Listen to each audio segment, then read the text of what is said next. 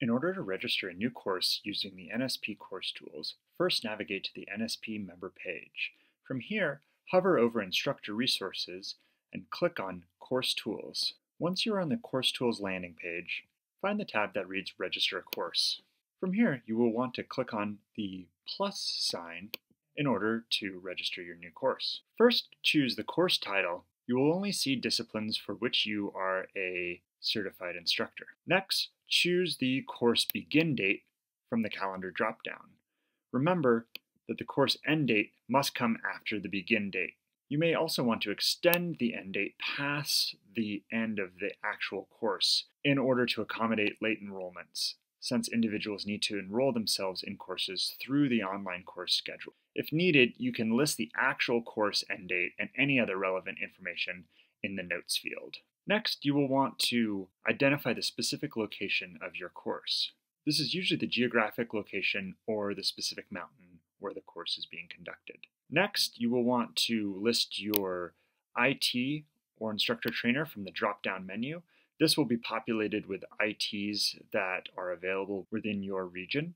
You must select an IT other than yourself when registering a course, as indicated by the quality assurance requirements. The assigned IT must be familiar with the national standards regarding content and evaluation criteria of the program providing the event. If an IT for a specific program event is not available, that program's region administrator or division supervisor may assign an IT from a different program.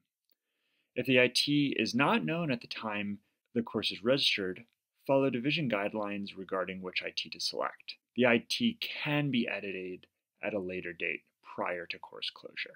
For OEC, OEC Online, and OEC Modified Challenge courses, you will need to select a date on which you would like your exam materials available by. These can be available via email or mail. Please note that exam materials cannot be requested more than two weeks before end of course. Next, you will want to list any assisting instructors for your course. Enter NSP member numbers separated by a comma with no space. Finally, as mentioned earlier, you can add any other information into the notes field. You can also make notes if this course is available to non-NSP members or specifics about location or scheduling. Once you have completed all of the fields, click Save and Close.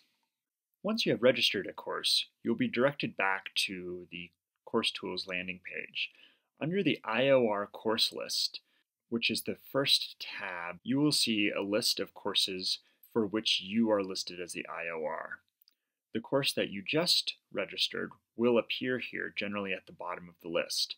The course number may take up to 15 minutes to be generated. Refresh your browser window to make sure that you are seeing the most up-to-date information. If you scroll to the right, depending on the size of your browser window, you will see all of the information that you have filled out, and as that status remains active, you will see the total number of registrants as it fills up. If you have further questions regarding registering a course, please email education at nsp.org.